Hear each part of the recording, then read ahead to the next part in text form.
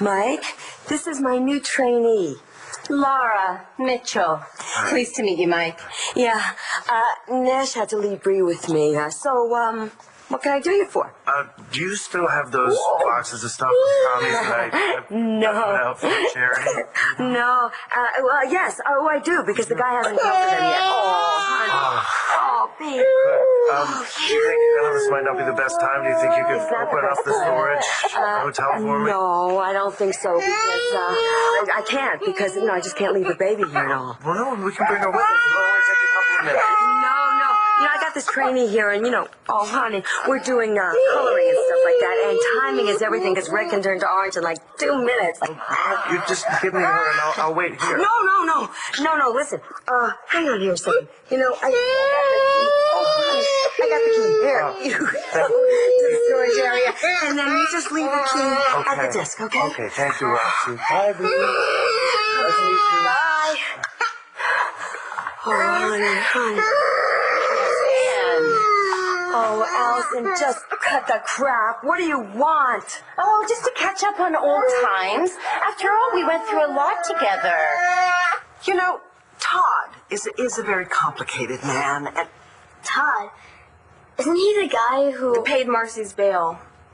are you serious? Todd bailed Marcy out of jail? That's what I heard. Whoa. Mm-hmm. Well, there you go. He did something good. So how long are you here for, Gigi? I'm not exactly sure. And I like it here. Well, not everyone in Llanview lives in a house like this. Shame. Duh, we've been stuck at Mr. McBain's. Where are your manners? Sorry.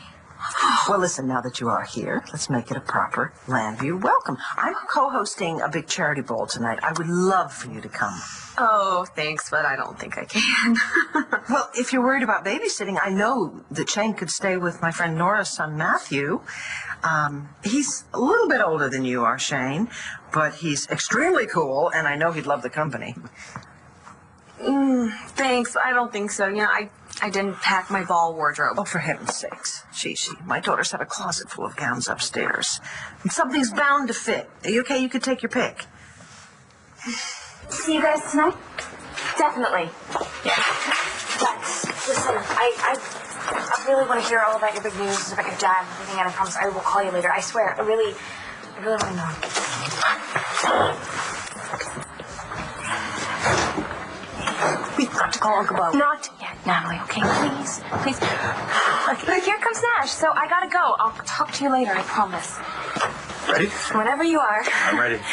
I will talk to you soon, Natalie, okay?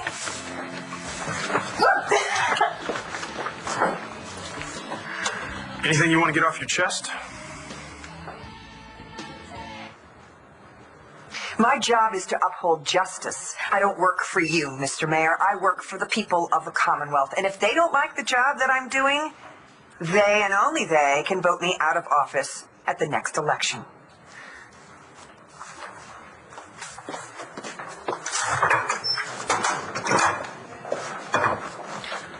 Don't you think that uh, you were a little hard on her?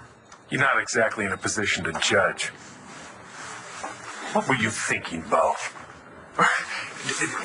Taking legal guardianship of Lindsay Rappaport? Lindsay's trial was over. Anything that happened after that has nothing to do with this office.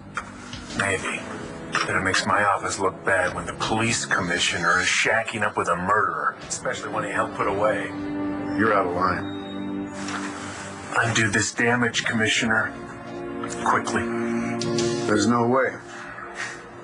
Shame. Because, unlike the district attorney, you do work for me. And you can be replaced.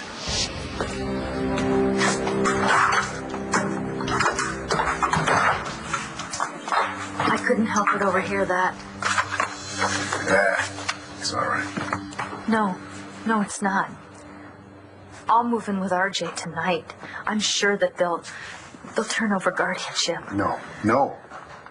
Lindsay, come here. Look, I, I'm not harboring a criminal. I helped a friend who was sick, who did something that she had no control over. If you ever lost your job because of me, I would never be able to forgive myself.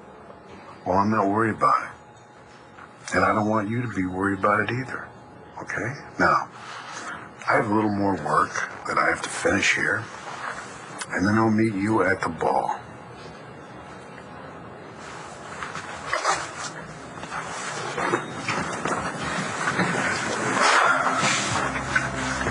Sure.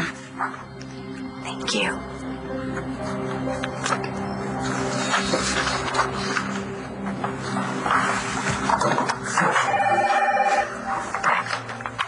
Buchanan? What? When?